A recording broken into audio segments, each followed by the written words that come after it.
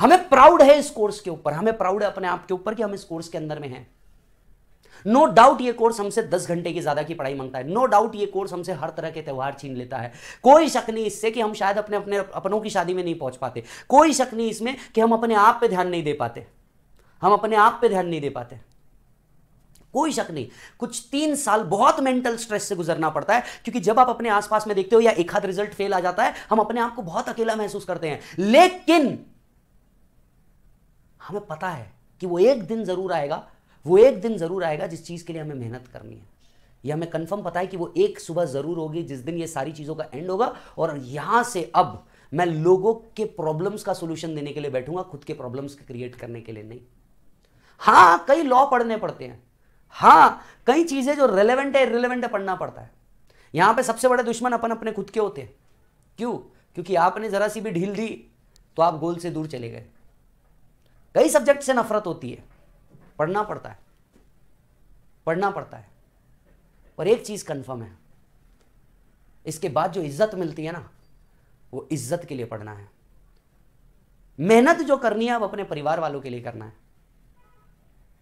क्योंकि जब घर में एक बच्चा पढ़ लेता है ना तो पूरा परिवार सुधर जाता है। कुछ चीज़ें इस कोर्स के अंदर में जो लगती है, वो सी और ए लगता है। Kya C or A? C that is commitment to yourself and A attitude towards yourself. C and A commitment towards yourself and attitude your, towards yourself बस दो चीज़ लगती है, बाकी परसेंटेज मैटर नहीं करता। भैया, वो साइंस अलग चीज़ है, जहाँ पे 35 परसेंट पे पास होते हैं और एडमिशन 90 परसेंट पे क्लोज होते हैं। ये कॉमर्स का सबसे बड़ा कोर्स सी है साहब। यहाँ 35 परसेंट वाला भी इन है 99 परसेंट वाला भी इन है। पास वही होगा जो कंसिस्टेंसी लेकर के चलेगा। और क्यों करना है? क्यों इतने त्योहार सेक्रीफाइस करना है? क्यों सारी चीज़ें करनी है? बस एक दिन के लिए करनी है, जिस दिन मेरे नाम के आगे ना वो डिग्री लगे और जीवन में इससे बड़ा अंत नहीं होगा कि जब मैं मरूं तो लेट सीए विजय सारडा नाम आ जाए।